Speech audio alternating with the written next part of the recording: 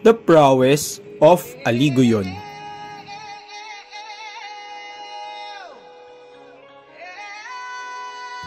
Long ago, in Hananga, there lived a rich couple, Amtulao and Dumulao.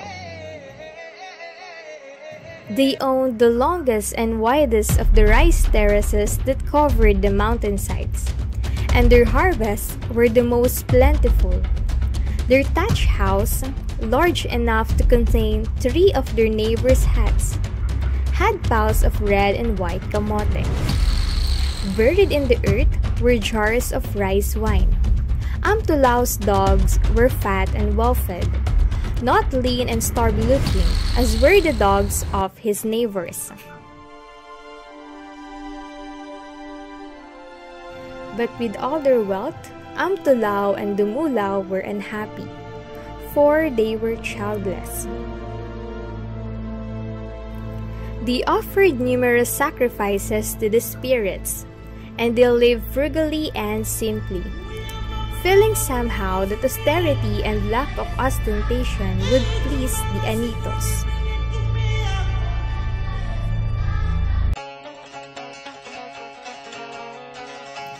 In the end, their prayers were answered, and Dumulao gave birth to Aliguyon, a sturdy and handsome child. Even as an infant, Aliguyon was precocious.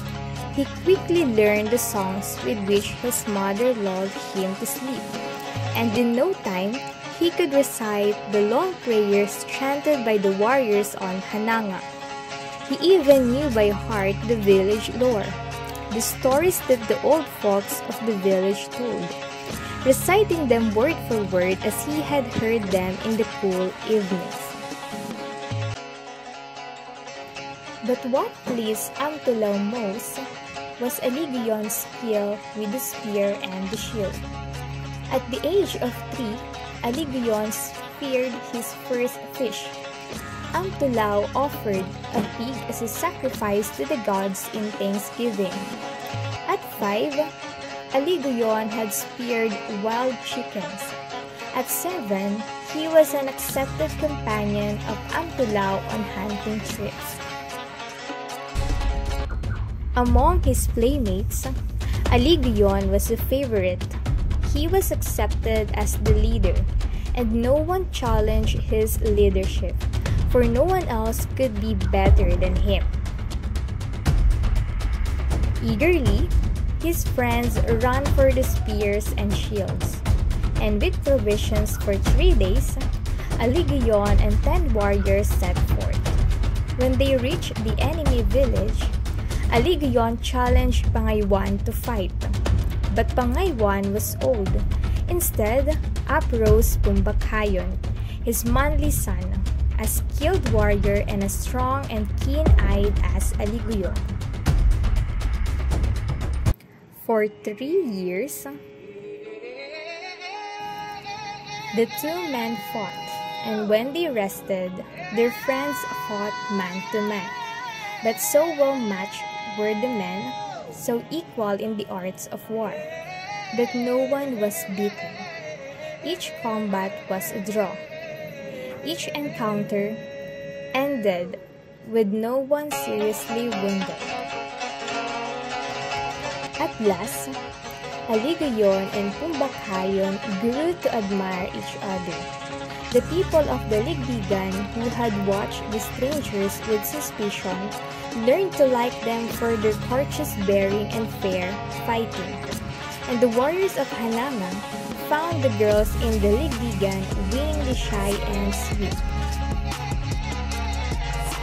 One day, therefore, while Aliguyon and Pumbakhayon sat resting from a hotly contested fight, Pumbakhayon remarked,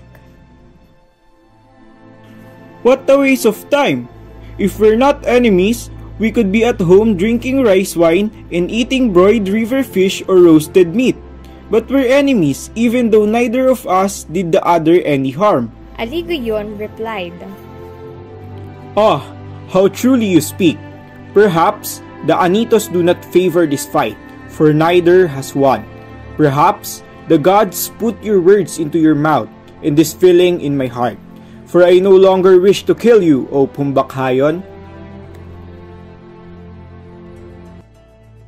With a loud shout of approval, the warriors ran to their leaders and carried them to the house of Pumbakhayon where old Pangaywan waited. Preparations began for a huge celebration. Everyone came to the feast, and as the jars of rice wine were emptied, the friendship between the strangers from Hananga and the people of Daligdigan grew. All throughout the feast, Aliguyon was fascinated by the light movements of Bugan, by her gaiety and her poise. Aliguyon said, O Pangaywan, once my father's enemy, but now his friend. Grant, I beg of you, this one request. Let us bind our friendship with ties that even death cannot break. Give me your daughter Bugan for my wife. I love her. She is to me the brilliant sun that warms the earth and drives away the chill of the night. She is to me the golden moon that brightens the dark and drives away the weariness of the day's work. Without her, I cannot return to my village as I left it, for with her, I have left my heart and my thoughts and my happiness. Aliguyon, you are my son. The spirits are good. They have given me a worthy man for a son-in-law. Take Bugan. I pray the Anitos that she will be a worthy wife for you and a dutiful daughter-in-law for Amtulaw and Dumulaw. In triumph, he led her to his father in Hananga, and kneeling before Amtulaw and Dumulaw, he cried, O father, O mother, your enemy in Daligdigan is no more. Pangaywan, your enemy, no longer live. In his place is Pangaywan, the father-in-law of your only son, Aliguyon. If you love me, love too the man whom your son promised to honor as the father of his wife. Behold, I have brought you my wife, Bugan of Daligdigan, the lovely daughter of Pangaywan. I bring her to you, father, so that someone can pound the dried meat for you when you are hungry.